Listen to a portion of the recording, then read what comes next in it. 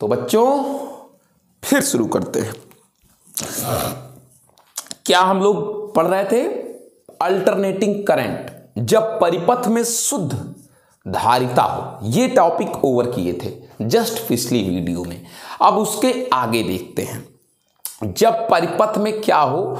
When circuit contains what what inductance and resistance जब परिपथ में क्या क्या चीज़ें हो बेटा?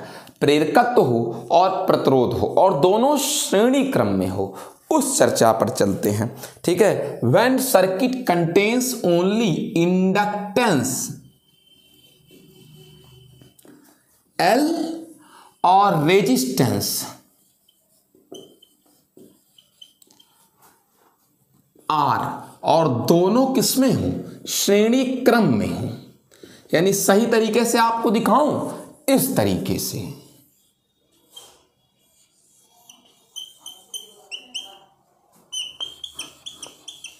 ये।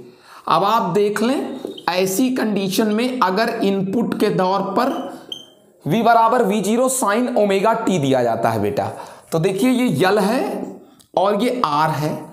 और आप देख लें कि दोनों में एक ही धारा बहेगी, प्रेरकत्व में भी और प्रतिरोध में भी इंडक्टेंस में भी और रेजिस्टेंस में भी। मैं मानता हूँ कि इस V का जो हिस्सा इस पर अप्लाई हुआ, वो VL हुआ। और जो हिस्सा इस पर अप्लाई हुआ बेटा, वो V सफिक्स क्या हुआ? R हुआ। VL और VR हो गया। अब आप इतना जानते हैं कि धारा और प्रतिरोध के सिरों पर लगाया गया विभुआंतर ये दोनों कैसी कला में होगा? समान कला में होगा। आप देख चुके हैं कि शुद्ध प्रतिरोध और धारा कैसी कला में होते हैं? समान कला में होते हैं।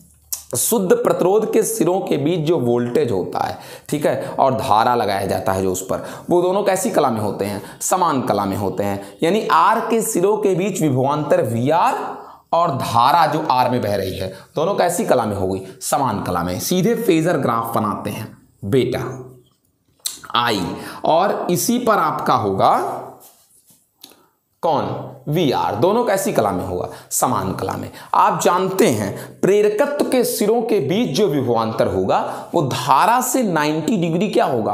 अग्रगामी होगा। ये बेटा वी एल ये धारा से 90 डिग्री क्या होगा बेटा? अग्रगामी होगा। आ, समझ सके? इन दोनों का, इन दोनों का जो नेट होगा, परिणामी होगा रिजल्टेंट होगा, वो इनके बीच से जाएगा। ये ये बेटा, V, ये इन दोनों का परिणामी है। ठीक है? यानी आपने देखा कि नेट वोल्टेज धारा से क्या है? अग्रगामी है। कितना अग्रगामी है? मैं क्या जानूं? मान लेता हूँ कितना अग्रगामी है। फाई अग्रगामी है। लेकिन इतना हमको पता लग गया कि शुद्ध, ठीक है? जब परिपथ में शुद्ध प्रतिरोध आई एम सॉरी प्रतिरोध और प्रेरकत्व दोनों श्रेणी क्रम में हो तो नेट वोल्टेज धारा से क्या होती है बेटा? अग्रगामी होती है, वो आपको आँख से दिख रही है। ठीक है? अब इतने में किसी को कोई दिक्कत नहीं होना चाहिए। अब हम लोग क्या चीज़ पढ़ते हैं इसमें? अब हम लोग इसमें ये चीज़ पढ़ेंगे कि भाई नेट वोल्टेज निकालने का फार्मूला क्या है? तो बहुत सिंपल है। नेट वोल्टेज निकालने का क्या फार्मूला देखिए, आप जान लीजिए, ये ये सबको पता है। यहाँ से एक लंब डाल दीजिए। डाल देंगे, ये वीएल है, ये भी कितना ही होगा, ये लंब भी वी ही होगा। आप सब लोग को पता होना चाहिए। मुझे ये सब बताना नहीं है। गलत बात मत करिए। अगली बार से नहीं बताऊँगा। बस इस बार बता दे रहा हूँ। V बराबर V R square plus V क्या? एल स्क्वायर ये भी वी एल तो ये भी वी एल ही होगा सम्मिति के नियम से। ठीक है? तो कर्ण का स्क्वायर यही परिणामी है। कर्ण का स्क्वायर बराबर लंब स्क्वायर और प्लस क्या स्क्वायर आधार स्क्वायर अगली बार से मत पूछिएगा। बस अब मैं आपकी बारे में बताऊँ जाओ। वी आर स्क्वायर और प्लस वी एल स्क्वायर ये हो गया बेटा। नेट वी आ गया इसका। ठीक है? अब उसके बाद आप अगर थोड़ा सा दिमाग लगाना चाहें तो अच्छा ये दिमाग लगा भी लीजिएगा। आप जानते हैं, क्या जानते हैं आप इस चीज़ के बारे में? एक चीज़ ये जानते हैं कि यहाँ पर, गौर करिएगा, प्रतिबाधा होगी। प्रतिरोध की जगह क्या होगी यहाँ पर? प्रतिबाधा होगी, और वो प्रतिबाधा जेड बराबर कितना होगा? Under root R square plus XL square ये सब पढ़ा चुका हूँ मैं। डिटेल में नहीं जा पाऊँगा। प्रतिबाधा होगी ऐसे परिपथों में। प्रतिरोध का काम ऐसे परिपथों में जो करेगा वो प्रतिबाधा होगा। प्रतिबाधा यल के कारण प्रतिरोध है और किसके कारण है? आर के कारण। दोनों के कारण जो संयुक्त प्रतिरोध है उसे प्रतिबाधा कहते हैं ऐसे परिपथों जेड, ठीक है? इंपिडेंस बोलते हैं प्रतिबाधा को इसको। क्या बोलते हैं बेटा? इंपिडेंस बोलते हैं। जेड से दिखाते हैं। आर स्क्वायर प्लस क्या हो जाएगा? एक्सएल स्क्वायर रूट में। ये प्रतिबाधा हो गई। इसका भी मात्रक वही है। ये प्रतिबाधा है ही भैया ठीक है तो इसका मात्रक ओम हुआ। ठीक है? इसका मात्रक भी क्या होगा? ओम होगा, इस प्रतिबाधा का मात्रक। और इसका जो व्युतक्रम होगा प्रतिबाधा का, वन बाई क्या? जेड। इसको प्रवेश्यता बोलते हैं, एडमिटेंस बोलते हैं। क्या बोलते हैं? प्रवेश्यता। इसका मात्रक वही ओम इनवर्स होगा, प्रवेश्यता। ठीक है? अब आप एडमिटेंस कह दें, कुछ भी दिखा दें ए से दिखा दें, हमको कोई फ़र्क नहीं पड़ता। इसका कोई लीगल और अथेंटिक रिप्रेजेंटेशन नहीं दिया हुआ है कहीं। ठीक है? इतना मैं जान गया। क्या चीज़? कि वोल्टेज इसमें अग्रगामी है, किससे? धारा से, चाहे कहे तो धारा पश्चगामी है, किससे वोल्टेज से, कितना पश्चगामी है? फाई ठीक है? अगर आपको फाई निकालना है तो बहुत इजी है। फाई निकालना, ये फाई निकालना। देखिए कैसे निकल जाएगा। टेन फाई बराबर। क्या होता है? लंब। बटे क्या होता है? आधार। ये कितना है बेटा? वी है। ठीक है? वी एल बराबर आई इंटू एक्सएल और वी आर बराबर आई इंटू क्या होगा? आर होगा। ठीक है? आई आई क्या हो जाएगा? कट जाएगा। टेन फाइव ये कितना कलांतर का अंतर है? कितने कलाओं का अंतर मतलब कलांतर कितना है? फाई कितना है? तो ये एक्सेल का ओमेगा यल अपान क्या हो जाएगा? आर हो जाएगा। बस इससे बड़ी आसानी से निकल जाएगा क्या बेटा? फाइव ये टोटल वैल्यू आ गई इसके बारे में। अब मुझे नहीं लगता है किसी को बहुत अधिक दिक्कत होगी इसमें। अब जरा सा आगे बढ़ते हैं। ठीक है? अब ये सर्किट कंप्लीट हो गया जब परिपथ में शुद्ध प्रतिरोध हो और कौन हो? प्रेरकत्व हो। सारी चीज़ें बता दी आपको।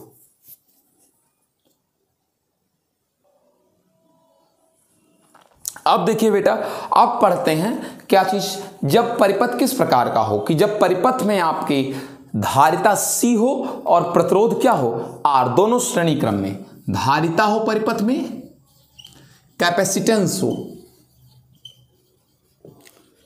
When circuit contains capacitance C and resistance, प्रतिरोध रेजिस्टेंस आर। दोनों हो और दोनों किस क्रम में हो? श्रेणी क्रम में, यानी सीरीज़ में हो। सर्किट का फिगर अगर आपको दिखाएँ।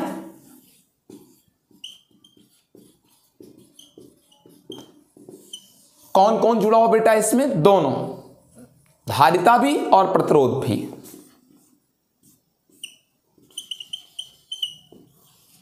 ये बेटा टोटल वोल्टेज वी दिया है, दो में क्लासिफाई होगा। वीसी और V R I am sorry ये बेटा वीसी और क्या? वी आर बहुत सिंपल है। आप जानते हैं कि इसके सिरों, प्रतिरोध के सिरों के बीच विभवांतर और धारा दोनों कैसी कला में होगी? समान कला में होगी। और विभवांतर। प्रतिरोध के से ये दोनों कैसी कला में होंगे? समान कला में होगा। फिर आप क्या जानते हैं? ये भी जानते हैं कि संधारित्र के सिरों के बीच जो आपका विभवांतर होता है, धारिता को सिरों के बीच जो वोल्टेज होता है, वो नब्बे अंश पश्चगामी होता है। ठीक? वीसी और वीआर का जो रिजल्टेंट होगा, वो नीचे से जाएगा। यानी इस बार मामला गया है पलट। ये पिछली बार का। यानी नेट वोल्टेज धारा से पश्चगामी हो गया। ठीक है, किस पोजीशन में हो गया? लैगिंग पोजीशन पे हो गया। यानी कह सकते हैं करंट जो हो गया, वो आपका अग्रगामी है लीडिंग स्टेट में है। ठीक है, ये हो गया आपका। कितना है? ये तो भाई मुझे नहीं पता। ये तो निकालना पड़ेगा। कलांतर कितने का है? नेट वोल्टेज और करंट के बीच ये आपको निकालना पड़ेगा। बहुत टफ नहीं है, बहुत इजी है। आप नेट वोल्टेज जान ले पहले, ये नेट वोल्टेज आपका, आप चूँकि डिटेल तो पढ़ नहीं रहे हो, क्या पढ़ रहे हो? इस चीज़ को याद रखो, पढ़ क्या चीज़ रहे हैं? पढ़ रहे हैं क्या बेटा? पढ़ रहे हैं बूस्टर क्लास इसलिए थोड़ा सा तेज़ी से देखो। जेड बराबर क्या होगा इसमें? अंडर रूट एक्सी स्क्वायर और प्लस क्या होगा बेटा? आर स्क्वायर जेड बराबर एक और formula one upon omega C square और प्लस क्या स्क्वायर आर स्क्वायर ये जेड आ गया आपका। इसके बाद तो क्या चीज़ कहते हैं? थोड़ी सी और बात कर लीजिए इसमें। इसमें एक चीज़ क्या कह रहा है? जेड बराबर R square plus X square नालायक है रूढ़ी हटा दिया है। अब देख लेते हैं जरा सा एक चीज़ और बेटा, कि हम फाई कैसे निकालें सर फाई कैसे निकालोगे? ये फाई बहुत इजी है। फाई बराबर, ये यहाँ से जरा सा लंबा डाल दो, ये ये। अगर ये आपका वी है तो ये भी आपका कौन ही? है वीसी है। ठीक है, ये भी वीसी है। कैसे निकाल देंगे फाइव बहुत सिंपल है। निकालना। फाइव निकालना। हम जानते हैं टेन फाइव बराबर। लंब वी सी अपान आधार, ये बेटा, ये वी आर है, ये। यही तो वी आर है। रख दीजिए। आप जानते हैं I into XC upon I into R I I cut जाएगा। टेन फाइव फाइव निकालने के लिए फार्मूला बेटा। एक्सी बराबर one upon omega C upon R बराबर one upon omega C R अगर आप चाहें तो ओमेगा टू पाई एफ़ रख सकते हैं। इंटू के आई एम सॉरी ये आर नहीं। हाँ हाँ यहाँ तो रखना ही पड़ेगा। टू पाई एफ़ और क्या बेटा? आर ये इतना टोटल हो गया आपका क्या निकालने के लिए? एक्सी निकालने के लिए। करेक्ट एक्सी कह रहे हैं टेन फाइव निकालने के लिए फाइव निकालने के लिए। इन सब फार्मूलों का आप क्या कर सकते हैं? यूज़ कर सकते हैं। मुझे नहीं लगता किसी को इसमें कोई दिक्कत होगा। यानी जब परिपथ में धारिता और प्रतिरोध दोनों हो तो आप जान जाइए वोल्टेज पश्चिगामी होता है किससे? धारा से। टोटल बता दिया। अब नेक्स्ट टाइप का सर्किट देखते हैं बेटा।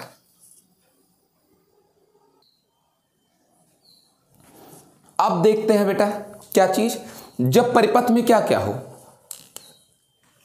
जब परिपथ में when circuit contains only inductance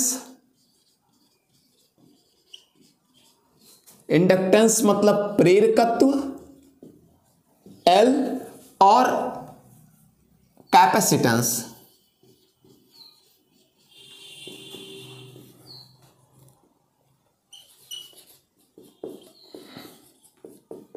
सी और दोनों सीरीज़ में हो। श्रेणी क्रम में हो। उस समय की बात करते हैं। बहुत सिंपल इसका सर्किट है।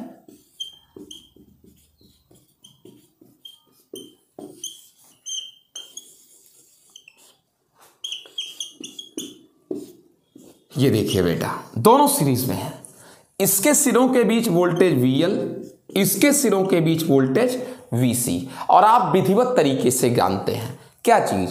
कि हमेशा प्रेरकत्व के सिरों के बीच जो वोल्टेज होता है, वो धारा से अग्रगामी होता है, वो भी नब्बे अंश। अग्रगामी। तो अग्रगामी के लिए इधर दिखाते हैं, वामावर्त। धनात्मक कला कोण को वामावर्त। और संधारित्र के सिरों के बीच जो वोल्टेज होता है, वो धारा से पश्चगामी होता है। नब्बे अब एक केस मैं मानता हूँ। If VL is greater than क्या? वीसी अगर प्रेरकत्व के सिरों के बीच वोल्टेज संधारित्र के सिरों के बीच के वोल्टेज से ज़्यादा हो, और आप देख ही रहे कोण कितना अंश है? नब्बे अंश, एक सौ अस्सी अंश। बहुत मेहनत नहीं करनी है। अगर वीएल ज़्यादा हो किससे? वीसी से। तो परिणामी ऊपर रहेगा। वीएल माइनस वीसी अगर वीसी ज़्यादा होता वीएल से तो ये परिणामी कहाँ से? नीचे की ओर दिखाते ये हो गया वीएल माइनस वीसी यानी कि हम कह सकते हैं नेट वोल्टेज वीएल और माइनस क्या बेटा? VC net voltage VL minus क्या बेटा? वीसी ठीक? अब इस प्रकार से ये हो गया। अब मैं आपसे एक चीज़ और कहूँगा। अब अब एक चीज़ और देख लीजिए यहाँ पर। कि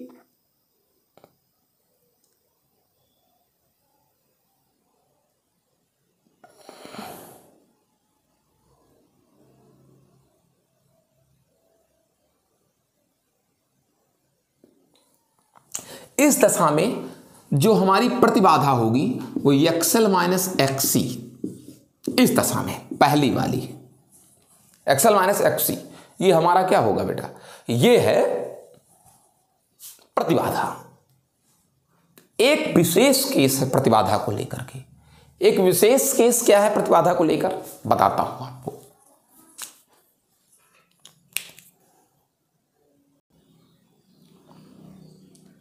देखिए, अब स्पेशल केस जिसकी बात कर रहे थे, बेटा, वो ये था कि आपने देखा जेड बराबर एक्सएल और डिफरेंस या फिर माइनस ही कह दीजिए एक्सी कौन से केस में? जब सर्किट में शुद्ध प्रतिरोध आई एम सॉरी संधारित्र और प्रेरकत्व लगे हों, ठीक? अगर एक्सएल बराबर क्या हो जाए? एक्सी हो जाए तो यहाँ पुट करके देख लो एक्सएल बराबर एक्सी हो गए मान लो दोनों को ए मान लो तो ए माइनस ए बराबर कितना आ जाएगा? जेड बराबर ज़ीरो आ जाएगा। अगर एक्सएल बराबर एक्सी हो गया यह विशेष अवस्था है। इसको कहते हैं किसकी अवस्था? इसको वैद्युत अनुनाद कहते हैं। इस दशा को जब एक्सएल बराबर एक्सी हो जाए, जेड बराबर कितना हो जाए? ज़ीरो हो जाए। इस दशा को वैद्युत अनुनाद कहते हैं। वैद्युत अनुनाद कहते हैं। इलेक्ट्रिकल रेजोनेंस कहते हैं। अब कुछ शर्तें विशेष हैं। एक्सएल बराबर एक्सी बेटा एक्सएल मतलब ओमेगा एल, एक्सी बराबर one upon omega C. Omega omega omega square हो जाएगा, ओमेगा इधर भेज दिया। और ये हो जाएगा एल सी, स्क्वायर हटा दो, अंडर रूट लगा दो, एल सी। ओमेगा बराबर होता है two pi F, one upon under root L C. बता चुका हूँ सब बेटा इस। अगर एफ़ बराबर यहाँ से निकाला जाए, one upon two pi under root क्या एल सी। इस आवृत्ति को अनुनादी आवृत्ति बोलते हैं। ठीक है? हिंदी में इसको बोलते हैं रेजोनेंट फ्रीक्वेंसी अनुनादी आवृत्ति। One by two F sorry one upon two pi under root क्या बेटा? एल सी ठीक है, ये अनुनादी आवृत्ति है। एल सी सर्किट का, इसको एल सी सर्किट बोलते हैं, ये वाले सर्किट को। इसमें एल और क्या पाया था? सी पाया था। अब हम लोग देखेंगे बेटा, सबसे लास्ट टाइप का सर्किट ठीक है, आखिरी सर्किट देखेंगे। तो बच्चों, आगे देखते हैं अगली और सबसे लास्ट टाइप का सर्किट वो कौन सा सर्किट है? उस सर्किट का नाम है L C R circuit L C R circuit क्या है L C R circuit now we know about this actually when circuit contains in series what प्रेरकत्व inductance capacitance and resistance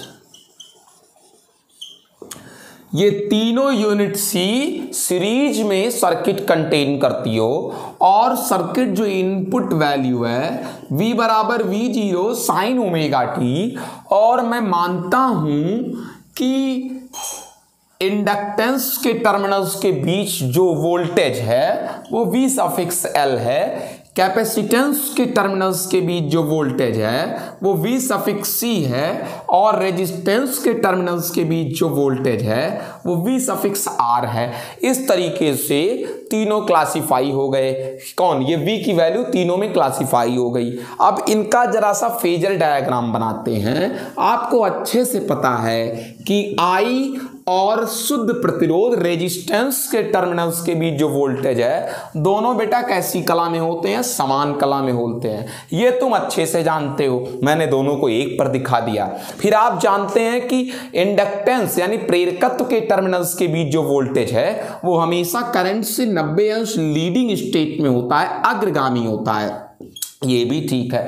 capacitance के terminals के बीच जो voltage होता है, वो 90 अंश पश्चगामी होता है, यानी लैगिंग स्टेट में होता है वी सफिक्स सी होता है। मैं आपको एक स्पेशल जर्नी पर ले चलूँगा कि V L is greater than V C हो जब। जब प्रेरकत्व के टर्मिनल्स के बीच का वोल्टेज कैपेसिटेंस के टर्मिनल्स के बीच के वोल्टेज से ग्रेटर देन हो, उस कंडीशन में ये हमारा V L minus V C होगा। नेट वोल्टेज यही तो आएगा बेटा। कौन सा? ये वाला। एक्सोसियंस का कलांतर था वी एल और किसके बीच? वी सी के बीच। मैंने मान रखा वी एल बड़ा है किससे वी सी से। तो परिणामी ऊपर की ओर से जाएगा। अब इन दोनों के बीच का जो क्या निकलेगा बेटा? परिणामी निकलेगा, वो इनके बीच से जाएगा। ये ये नेट परिणामी हुआ। आप देख सकते हैं कि नेट वोल्टेज धारा से अग्रगामी है। ठीक है? कोई दिक्कत तो नहीं किसी को? नेट वोल्टेज धारा से क्या है? अग्रगामी है। ठीक है? कितना अग्रगामी है? फाइव भाई फाइव की वैल्यू तो मुझे भी नहीं पता, निकाल के आपको दे दूँगा। अब आप समझदार हो जाए फटाफट। V बराबर अंडर रूट क्या मान सकते हैं? V L minus V C का होल स्क्वायर और प्लस वी आर का होल स्क्वायर अगर यहाँ पर आपको मैं प्रतिबाधा दिखा दूँ इम्पीडेंस दिखा दूँ तो प्रतिबाधा की जो वैल्यू आएगी, वो under root R square plus XL minus XC का होल स्क्वायर इसको थोड़ा सा और डिटेलीकरण में ले चलोगे अगर तो क्या आएगा बेटा ये? R square plus omega L minus one upon omega C का क्या बेटा? होल स्क्वायर ये आ जाएगा, इतना और उसके बाद अब आपको इसी वक्त लगे हाथ दिखा देता हूँ इसको, फाई की वैल्यू को। फाई कितना आएगा? जरा सा गौर करिएगा इस फाई की वैल्यू को एक मिनट। कलांतर कितना रहेगा? ये रहा परिणामी बेटा। इसी को ये वीएल था और ये वीसी था। इसी वीएल माइनस वीसी को इधर भी खींच लो। ये वीएल माइनस क्या है? वीसी ठीक है? ये फाई निकालना है। तो आइए tan phi V L minus V C upon क्या बेटा? वी आर ये। लंब बटे आधार। अब दिमाग लगाओ एक्सएल माइनस एक्सी बटे क्या हो जाएगा? R omega L minus one upon omega C upon क्या होगा बेटा? आर होगा। यहीं से निकल कर आएगा टेन क्या? फाइव अब चूँकि बूस्टर दे रहा हूँ, कोई सब चीज़ फिर से नहीं दिखा पाऊँगा, ठीक है? अब हम लोग चलते हैं चैप्टर में आगे बढ़ते हैं। आगे क्या पढ़ेंगे हम लोग? तो बच्चों, अब हम लोग क्या पढ़ेंगे? अब हम लोग पढ़ेंगे प्रत्यावर्ती धारा परिपथ में शक्ति अथवा सामर्थ्य शक्ति अथवा सामर्थ्य पावर इन अल्टरनेटिंग सर्किट क्या पढ़ेंगे इसके बारे में? एक सिंपल सी चीज़ आप जानते हैं, किसी भी प्रत्यावर्ती परिपथ में ऊर्जा व्यय की दर को, कितनी ऊर्जा व्यय होती है प्रति सेकंड? ऊर्जा व्यय की दर को ही उस प्रत्यावर्ती परिपथ की शक्ति अथवा क्या कहते हैं? सामर्थ्य कहते हैं। एकदम सिंपल सी बात है।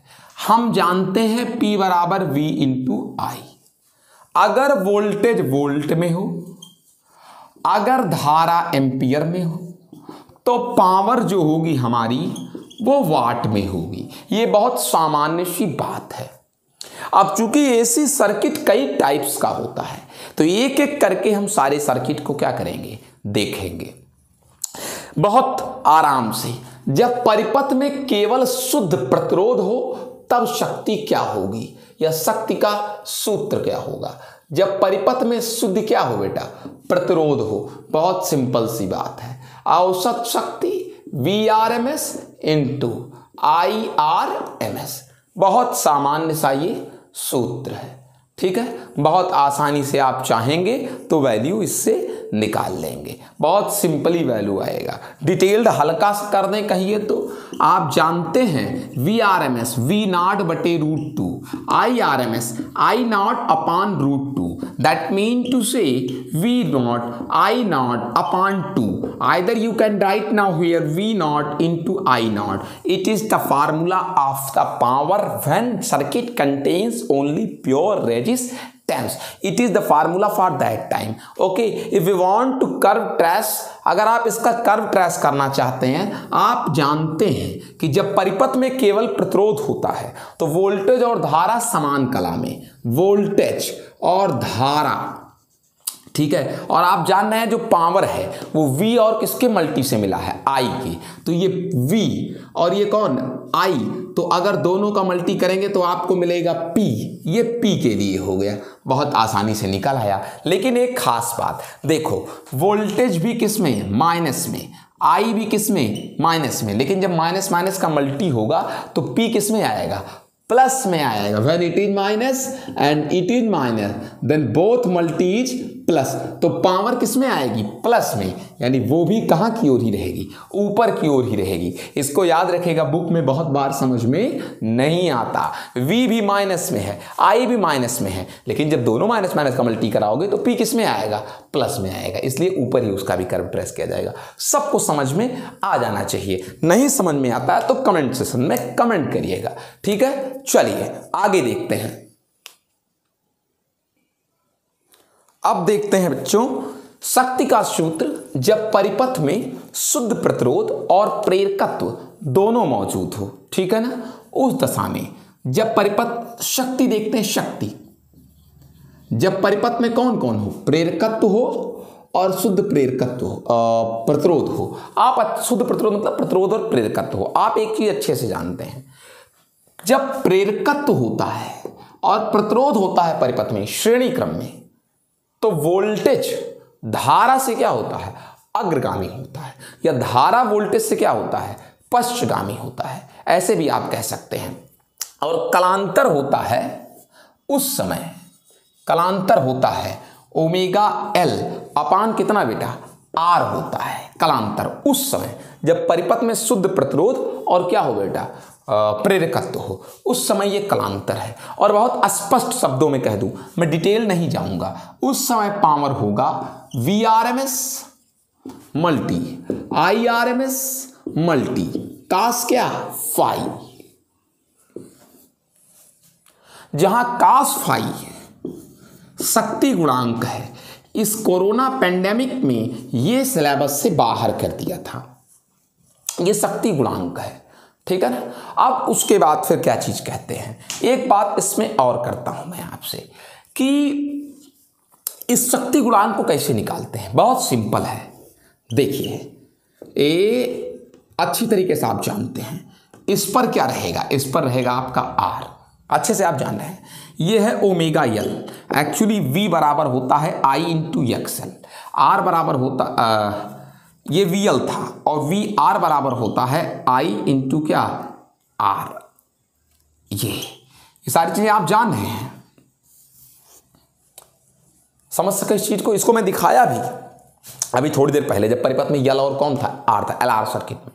इन दोनों का ये ये था कलांतर।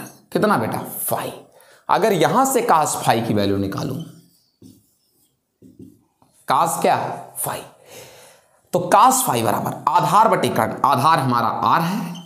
और कर्ण हमारा ये है, असल में ये जेड है, इसकी वैल्यू होगी आर स्क्वायर प्लस एक्सएल का क्या बेटा? स्क्वायर। बहुत इजीली निकल जाएगा। थोड़ा और डिटेल जाना चाहते हैं? एक्सल बराबर ओमेगा स्क्वायर एल स्क्वायर। इस तरीके से प्रतिरोध और प्रतिबाधा के अनुपात से आप शक्ति गुणांक निकाल लोगे, बड़ी आसानी से। ठीक है? आर वाई जेड करके। ये आपका बहुत आसानी से निकलने वाला हो गया। ठीक है ना? अब आप यहाँ एक चीज़ जान रहे हैं। हर हाल में, हर हाल में एल आर सर्किट में वोल्टेज जो हमारा वोल्टेज होता है, वो वोल्टेज धारा से एलआर सर्किट में, अच्छे से आप जान रहे हैं एलआर सर्किट में वोल्टेज ये अग्रगामी होता है लीडिंग स्टेट में होता है। किससे?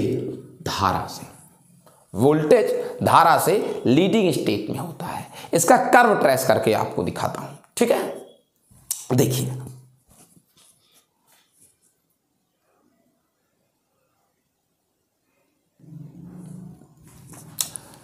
बहुत ध्यान से देखिएगा। हो सकता है यहाँ पर हमसे सही से ना बने, लेकिन कोशिश करूँगा एक ही बार में बन जाए। देखिए, आप ये तो जान ही चुके हैं कि वोल्टेज धारा से क्या है? अग्रगामी, चूँकि सर्किट एल था। तो पहले ये देख लीजिए, एक एक करके बनाते हैं। वोल्टेज धारा से क्या है बच्चा? अग्रगामी है। तो ये देखिए, हल्का से इसको इधर बढ़ा लीजिए पहले।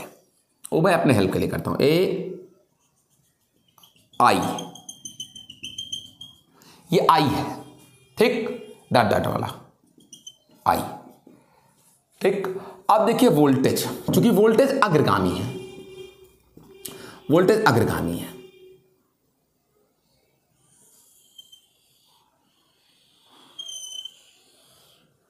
ठीक? ये वोल्टेज हो गया हमारा। और वोल्टेज अग्रगामी, आप देख लीजिए वोल्टेज अग्रगामी है। ठीक? अब देखिए, कम बन गया हमारा। पी आपने देख लिया, P बराबर होता है V इंटू क्या? I V और I के मल्टी से कौन बनता है? P बनता है। तो जरा गौर करिए, अपने दिमाग से देखिएगा। थोड़ा सा सेंस तो आपको लगाना ही पड़ेगा। देखिए, यहाँ तक की पोजीशन में जरा सा इसको मैं डिवाइड कर देता हूँ। ए, बहुत ध्यान समझिएगा। यहाँ तक की पोजीशन में देखिए। देखिए, ए आपका है आई और ये आपका है कौन? वी आप देखिए आई भी पॉजिटिव क्योंकि पी बराबर होता है, V इंटू क्या? आई वी भी पॉजिटिव आई भी क्या? पॉजिटिव तो पी भी कैसा होगा? पॉजिटिव ही होगा तो इनका मैं खींचता हूँ पी वो पॉजिटिव ही आएगा बेटा, पक्का। भाई ये भी प्लस, ये भी प्लस तो ये भी कैसा होगा? प्लस। हो गया। अब बात करते हैं नीचे का। गौर करो इसको। देखो, ये इतना जरा देखो, इसको। ये है वी वी तो हमारा पॉजिटिव है। बेटा वी तो हमारा कैसा है? आई एम सॉरी वी हमारा निगेटिव है आई एम सॉरी वी कैसा है? निगेटिव ये नीचे का वी निगेटिव है. लेकिन यहाँ के बाद ये आई कैसा है? यहाँ तक. यहाँ तक ये, यहाँ के बाद. ए यहाँ से. जो मैंने बीच में लाइन खींची थी ना आई हमारा कैसा है? पॉजिटिव है. लेकिन निगेटिव पॉजिटिव का मल्टी कैसा आता है? निगेटिव आता है. यानी पावर निगेटिव हो गया इस बार. ए छोटा सा चक्र है। ये वाला पावर पॉजिटिव और ये वाला पावर कैसा? नेगेटिव क्यों नेगेटिव क्योंकि आई प्लस में था और वी किसमें था? माइनस में। अब यहाँ पर एक लाइन खींचता हूँ।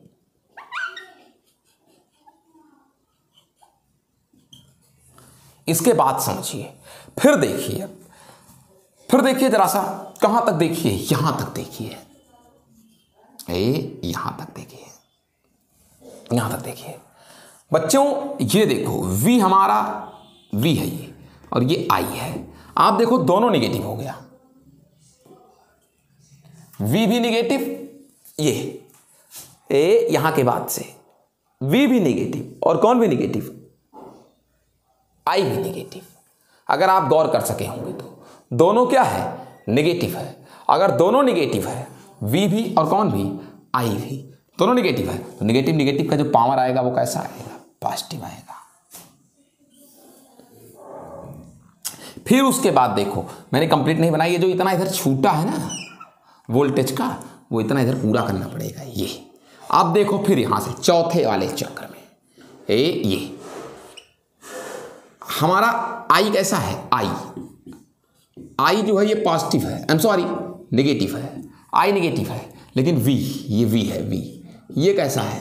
पॉजिटिव वी पॉजिटिव है आई कैसा है? निगेटिव तो फिर रिज़ल्ट कैसा आएगा? माइनस में ही आएगा. ए ये देखो. ये इतना फिर से किसमें आया? माइनस में आया. छोटा सा चक्र हमारा. समझ सके इस चीज़ को? समझ सके इस चीज़ को?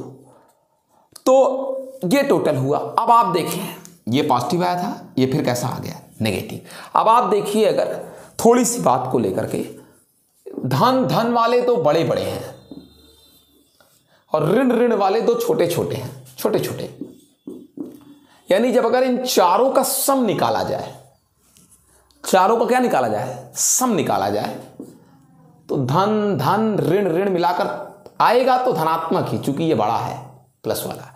लेकिन नेट वैल्यू टोटल जो आएगी टोटल जो नेट वैल्यू आएगी, शक्ति क्षय की पी नेट इस कंडीशन में, यानी एलआर सर्किट में, जो टोटल शक्ति क्षय आएगा पी वो शुद्ध प्रतिरोध वाले शक्ति क्षय जब शुद्ध प्रतिरोध था, शुद्ध क्या था? प्रतिरोध था। उस समय जो शक्ति क्षय आया था, उससे कम शक्ति क्षय होगा किस सर्किट में? एलआर सर्किट में। याद रखिएगा कि शक्ति क्षय किस सर्किट में? एलआर सर्किट में कम है शक्ति क्षय शुद्ध प्रतिरोध वाले में, आर वाले में। क्यों? ये देखिए छोटा छोटा ये जो माइनस वाला है ये टोटल प्लस वाले को क्या कर देता है? कम कर देता है। उस सर्किट में मैंने आपको ऐसे दिखाया था। उस सर्किट में दोनों पॉजिटिव थे। ऐसे मैंने आपको दिखाया था। पूरी बात समझ में आ गई? समझ में आ गई पूरी बात? यानी कि शुद्ध प्रतिरोध एलआर सर्किट में शक्ति क्षय क्या होता है? कम होता है। ठीक है ना? शुद्ध प्रतिरोध की तुलना में।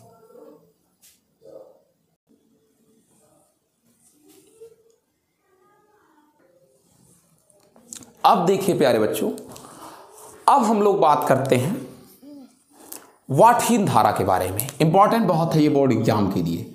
वाटहीन धारा। हिंदी में इसको बोलते हैं वाटलेस करंट। एक्चुअली ये कॉन्सेप्ट है, जिसको व्यवहार में लाने की कोशिश की जा रही है या की जा चुकी है। जितना आप एफिशिएंसी रख पाइए इस बारे में। समझने की कोशिश करिएगा। एक सर्किट है एल आर और एक सर्किट है एलसी अगर I am sorry C R circuit L R circuit की बात करें तो धारा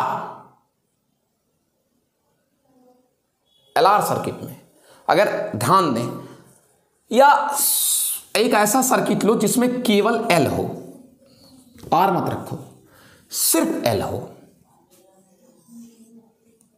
शुद्ध प्रेरकत्व। हो आपने देखा कि शुद्ध प्रेरकत्व वाले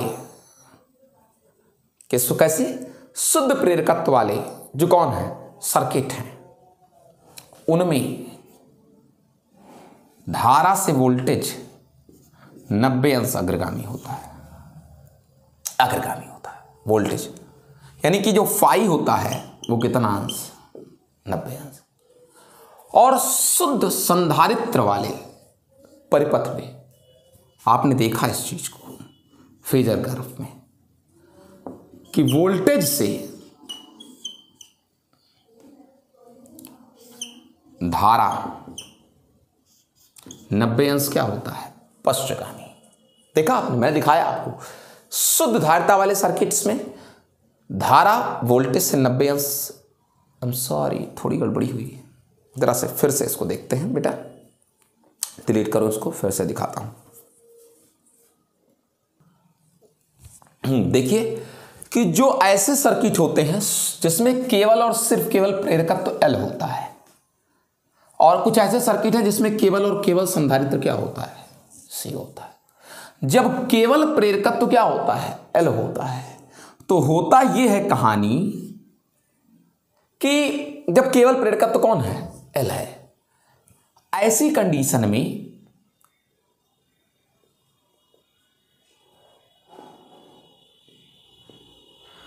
वोल्टेज धारा से 90 डिग्री अग्रगामी होता है। वोल्टेज धारा से 90 डिग्री क्या होता है? अग्रगामी। या धारा वोल्टेज से 90 अंश क्या होता है? पश्चगामी होता है। 90 अंश। धारा वोल्टेज से 90 अंश पश्चगामी होता है। 90 डिग्री। यानी यहाँ पर कलांतर 90 अंश का होता है। और जब परिपथ में केवल और सिर्फ़ केवल कौन होता है? संधारित्र होता है। उस दशा में धारा वोल्टेज से अग्रगामी होती है, अगर ये वोल्टेज है तो धारा 90 अंश अग्रगामी है। धारा 90 अंश क्या है? अग्रगामी यानी वोल्टेज 90 अंश पश्चगामी है। यानी यल वाले परिपथों में, जिसमें केवल यल है, उसमें वोल्टेज आगे है। कितना डिग्री? 90 डिग्री। किससे? धारा से। और शुद्ध संधारित्र वाले परिपथों में धारा आगे है। शुद्ध संधारित्र वालों में। धारा आगे है। कितना डिग्री? 90 डिग्री। किससे? वोल्टेज से। या यूँ कहते हैं वोल्टेज पीछे है। किससे? धारा। यानी यहाँ पर भी कलांतर कितने डिग्री का है? 90 डिग्री का। अगर सोच से इसको देखो तो शक्ति जो आएगा V R M S I R M S into cos phi के अनुसार।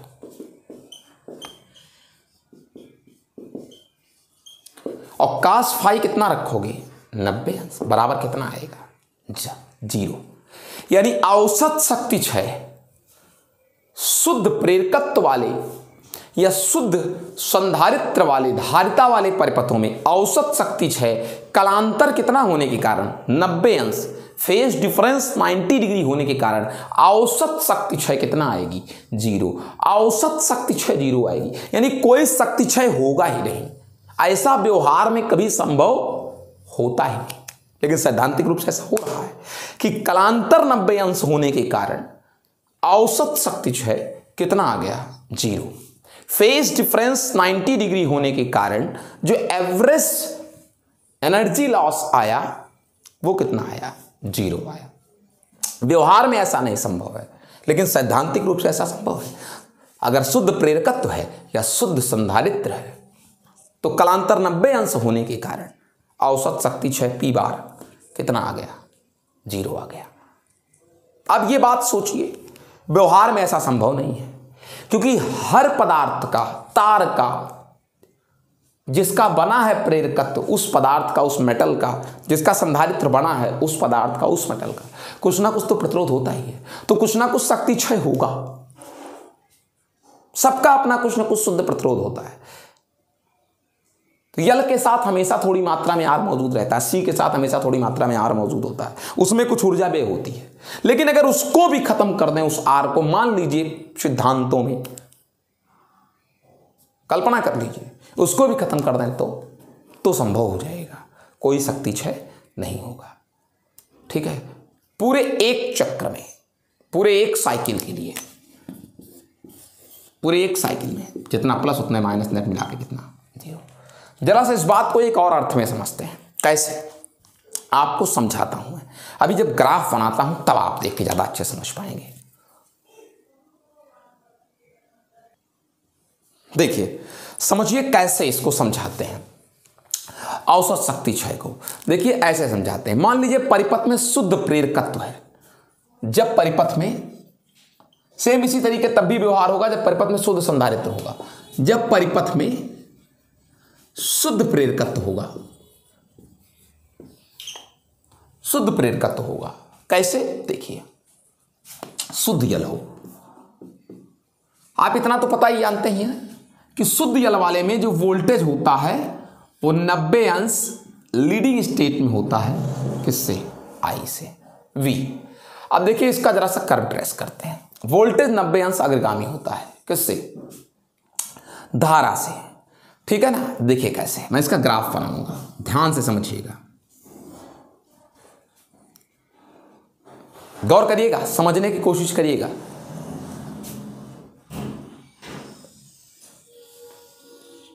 ये ये वी है।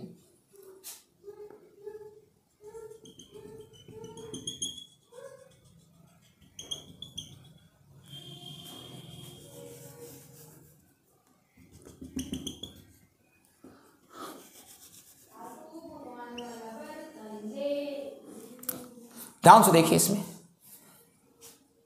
गौर से एकदम। ये वी है।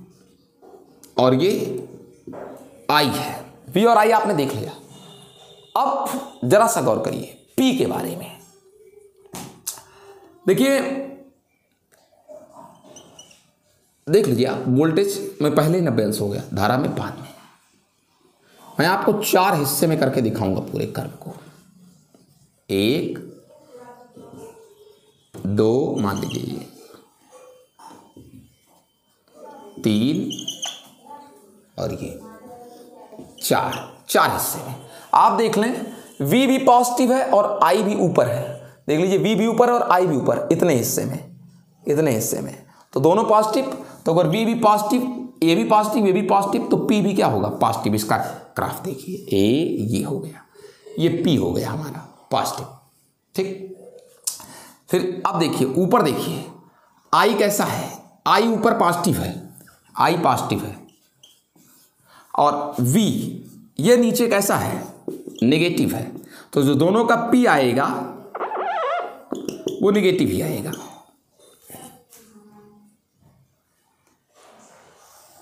ए, ये आ गया हमारा। ये नेगेटिव आया इस बार। फिर देखिए ए यहाँ के बाद की कंडीशन ये वी है ये हमारा वी है ये। ये निगेटिव है। और ये जो आई है हमारा ये वाला। ये भी नीचे होने के कारण नेगेटिव है। तो जो पी आया वो इस बार नेगेटिव नेगेटिव से कैसा आ गया? पॉजिटिव इन दोनों का, वो ऊपर। ये पॉजिटिव आ गया हमारा। फिर देखिए वी हमारा जो है, वो पॉजिटिव है, और आई जो है, वो निगेटिव है। तो फिर वी पॉजिटिव आई निगेटिव मिलाकर फिर से आंसर कैसा आएगा? निगेटिव यानी पी हमारा निगेटिव आएगा। निगेटिव आ गया। ये जब पी वाले हैं।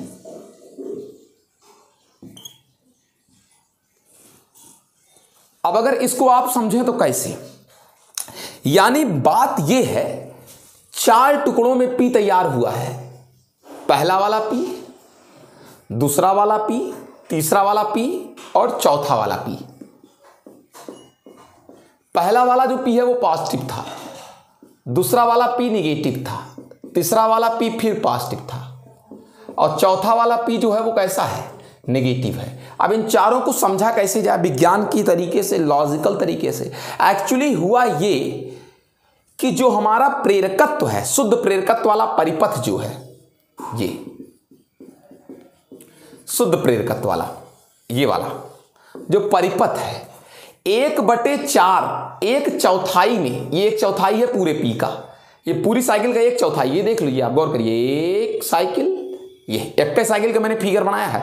एक साइकिल में ही, यानी कि वोल्टेज और करंट की, ये देखिए, गौर करिए, इसको ध्यान से देखिए, वोल्टेज, ये वोल्टेज और ये करंट। वोल्टेज और करंट के केवल एक चक्र में पावर का चार चक्र दो चक्र बन गया है। ए बन गया है ना दो चक्र? सोचिए कैसे। मैं बताता हूँ। एक चौथाई में वन फोर्थ में, यानी इस वाले में वन फोर्थ में, इस स्रोत से, यानी अल्टरनेटिंग वोल्टेज सोर्स से, ये, यानी कौन? प्रेरकत्व, विद्युत के रूप में लेता है और चुंबकत्व के रूप में संचित करता है। विद्युत के रूप में लेता है और किसके रूप में संचित करता है? चुंबकत्व के रूप में। और अगले एक जब जब ये संचित कर रहा है चुंबकत्व के रूप में, इसकी ऊर्जा बढ़ रही है, तभी ये कैसा है? पॉजिटिव। फिर अगले एक चौथाई में, यानी इस वाले में, इस वाले में, अगले एक चौथाई में, जो इसने चुंबकत्व के रूप में संचित किया था, वो पुनः दे देता है विद्युत के रूप में। खुद का चुंबकत्व की एनर्जी कितना कर देता है? ज़ीरो कर देता है। ये टोटल मैटर है। तो इस तरीके से क्या क्या हुआ? जब लिया तो प्लस में और जब दिया तो माइनस में तो न लिया, न दिया नेट मिलाकर कितना हो गया? ज़ीरो। और सेम कहानी। फिर लिया, विद्युत को लिया, चुंबकत्व के रूप में संचित किया तो प्लस में हुआ। फिर चुंबकत्व को दे दिया, और पुनः चुंबकत्व की एनर्जी कितनी हो गई? ज़ीरो। यानी पूरे यानी अगर सही मायने में कहें, गौर करिएगा, धारा का एक चक्र, वोल्टेज का एक चक्र हुआ और शक्ति का कह चक्र, चार चक्र, शक्ति का चार चक्र। एक बार फिर से समझ लीजिए। द वेरी लास्ट यहाँ देखिए, आखिरी बार। ए, ये देखिए, धारा का एक चक्र, वोल्टेज का एक चक्र और शक्ति का चार चक्र इतने में ही। ये, शक्ति का चार चक्र। जब प्रेरकत्व ने लिया, फिर प्रेरकत्व ने दिया। लिया तो पॉजिटिव विद्युत लिया था और चुंबकत्व के रूप में संचित किया तो पॉजिटिव फिर यही चुंबकत्व जो है पुनः दे दिया किसके रूप में? विद्युत के रूप में। खत्म हो गया चुंबकत्व एनर्जी यानी फिर किसमें हो गया? निगेटिव यानी कुल नेट एनर्जी प्लस माइनस हटकर कितना हो गया? ज़ीरो ठीक है ना? यानी हो क्या रहा है? एक बार ले रहा है प्रेरकत्व, विद्युत को चुंबकत्व के रूप में संचित कर रहा है तो पॉजिटिव फिर क्या कर रहा है? चुंबकत्व वाला दे दे रहा है विद्युत के रूप में। फिर कैसा? नेगेटिव नेट कितना हो गया? ज़ीरो दैट्स ऑल ये कुल कंप्लीट हो गया। कैसे एक साइकिल में नेट ऊर्जा क्षय कितना होती है? ज़ीरो होती है। जब परिपथ में शुद्ध प्रेरकत्व अथवा शुद्ध क्या हो? संधारित्र हो।